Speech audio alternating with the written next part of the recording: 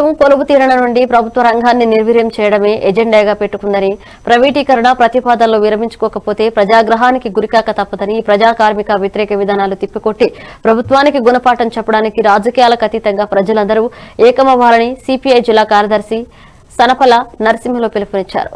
ప్రత్యక్ష పరోక్షంగా లక్షల మందికి ఉపాధినిచ్చే స్టీల్ ప్లాంట్ను ప్రైవేటీకరిస్తే ఉద్యమం పునరావృతం అవుతుందని హెచ్చరించారు. గతంలో వాజ్పేయి ప్రభుత్వంలో హిందుస్థాన్ జింక్ను ప్రైవేటీకరించారని ఆ భూములతో రియల్ ఎస్టేట్ వ్యాపారం చేసుకున్నారని ఆంధ్రప్రదేశ్ అంటే బీజేపీ వి- వివక్ష చూపిస్తుందని ఆంధ్రుల కేంద్ర పన్నాగాలను తిప్పికొట్టాలని పిలుపునిచ్చారు.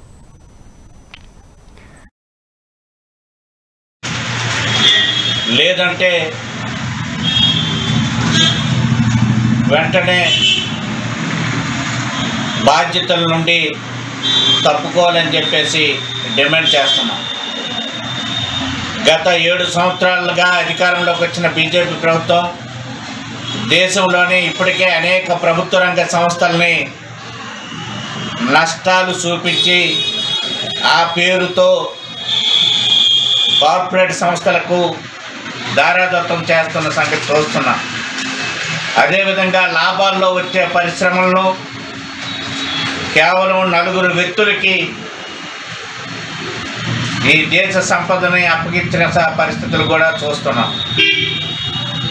చివరకు ఈ మధ్యకాలంలో రైతాంగాన్ని కూడా వ్యవసాయ రంగాన్ని పూర్తిగా నిర్వీర్యం చేస్తూ నాలుగు చట్టాలు కార్పొరేట్లు నాలుగు చట్టాలు తీసుకొచ్చి కార్పొరేట్లకు అనుకూలంగా వచ్చే చట్టాలు తీసుకురావడం అన్నది చూసాం అది పెద్ద ఎత్తున దేశవ్యాప్తంగా ఉద్యమాలు జరుగుతున్నాయి. ఈసారి పార్లమెంటు సమావేశాల్లో ఏకంగా ఆంధ్రప్రదేశ్ పైన కుట్రతో కూడుకున్న కక్ష కట్టి